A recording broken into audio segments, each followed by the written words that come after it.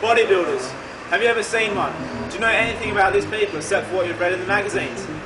Well, I hope not, because in the next four minutes, we're going to take you into the personal and professional lives of these elite athletes.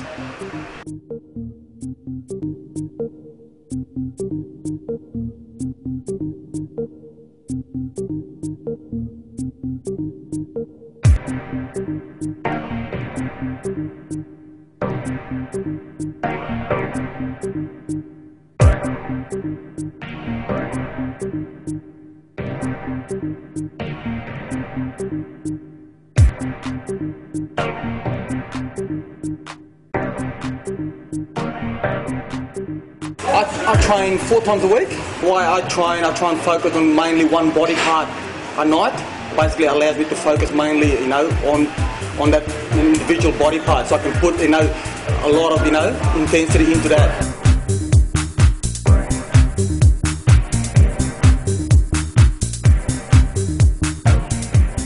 the way you eat, you're eating food that's got no flavour at all, you know.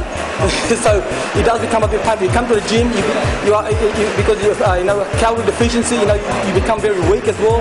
You know the weights are no longer you know the same as what you're pushing before, so you got to uh, adjust it, you know. And sometimes you get upset, you know. You go home, you feel upset, you know. And you know it depends what uh, your support group is gonna, you know. My wife, you know, she understands me, so she'll tolerate what I do, you know. But some people, if you don't, you're gonna have a, have a difficult time doing it.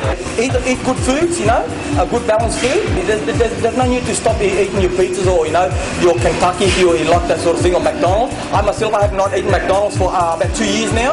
Okay.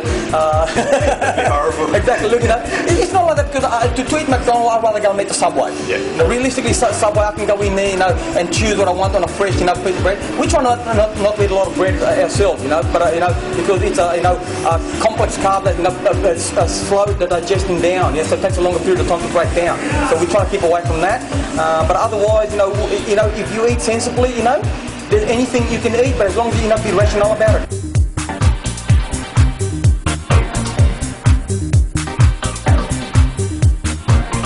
Supplements, look, you know, uh, there are a variety of supplements in the market, and I'm lucky enough that I'm actually, you know, uh, uh, involved in the supplement industry as well, uh, work in the store, and not only that too, I actually know, am sponsored by a supplement company as well, so uh, that benefits me a lot, you know. I didn't know uh, how much supplement important is until I actually started getting extra because they are costly. Magic water, magic water, some uh, aminos, creatine, and some glutamine.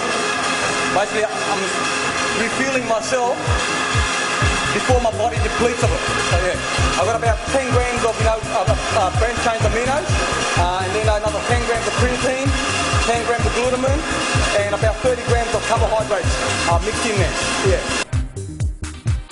Competitive bodybuilding, I've been uh, doing this competitive for 10 years. Uh, but overall training, I've been training for about 20 years. Yeah, uh, I'm 44 years old now, so uh, uh, so I started, you know, in, in my, you know, uh, just uh, probably early 20s. Yeah. I was lucky enough that you know when I started out, like I said, I wasn't comfortable being in front of a, a big audience. Uh, my younger brother was a bit more of an outgoing guy, so he taught me that side of it. The first competition, I was a bit, you know, like anyone else, the first competition, you're going to be nervous. You know, no matter what sport you do, once you step on and you've got a, a thousand people looking at you, you know, you are going to be a bit nervous. So, uh, but these days now, I'm comfortable now, and when I'm actually ready to go on stage, I want to go in and show it off because majority of the people are there, they're there for one reason, you know, either that if they didn't like it, they wouldn't be there. So they're there because they like the sport, so they're there to watch you. So you want to go in there and be comfortable and just be relaxed and just show the people that, you know, hey, this is what I look like and this is what I want to show you what I look like. Yeah.